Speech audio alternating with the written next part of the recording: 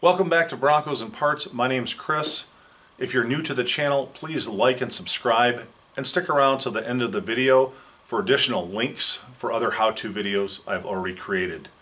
Today we're going to address a common issue with Broncos and F-Series trucks that have spent too much time in the rust belt, had window leaks, or just too much salt get inside of the vehicles.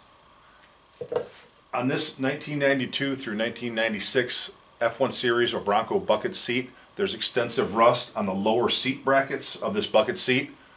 We're going to refinish that today. Let's get started.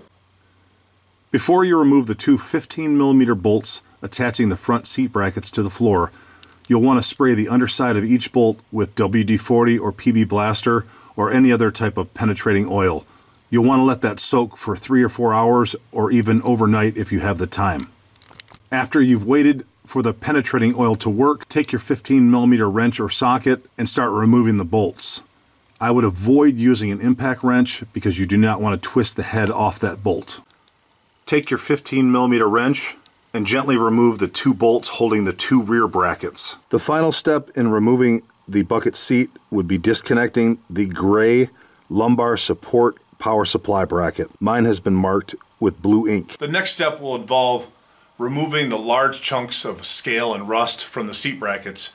You can do this with a wire brush or a cup style wire wheel, which I'm going to use. Before you get started, make sure you're wearing proper eye protection and a mask to keep all the debris you'll be sanding or grinding off the seat base from getting into your eyes and lungs.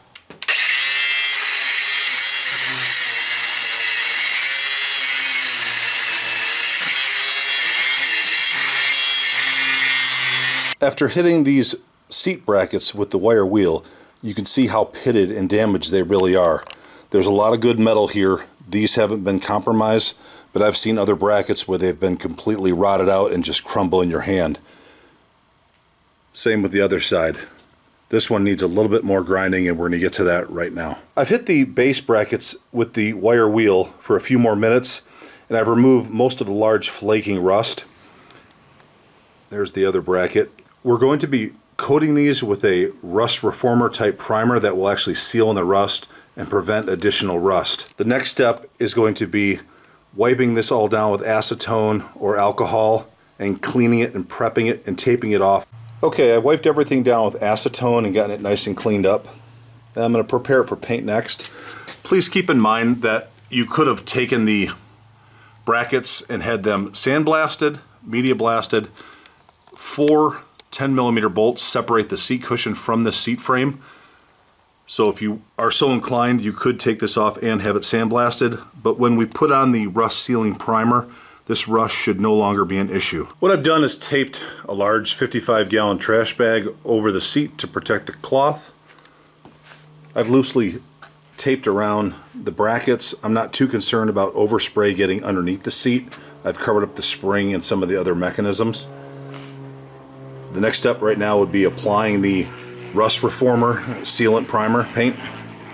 Let's get started. The first coat is going to be Rust-Oleum Rust Reformer. Let's get this stuff on.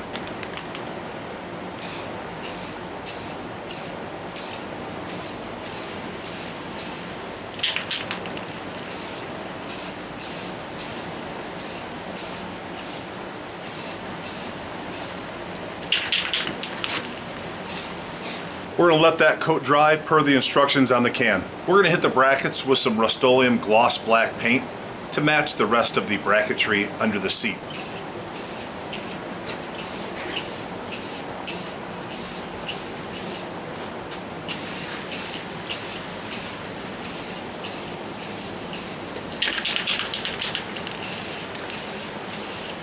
Here's the finished product. I'm very pleased with it. In hindsight, I wish I would have used a semi-gloss or a satin finish on the paint, but it looks a lot better than the flaky, rusty brackets I started with. I have not done the rear brackets yet. They're still rusty and flaky, but just doing the same process will get those cleaned up and sealed up in the future. I'm really happy with the way the brackets turned out, considering all the rust and corrosion that was on them.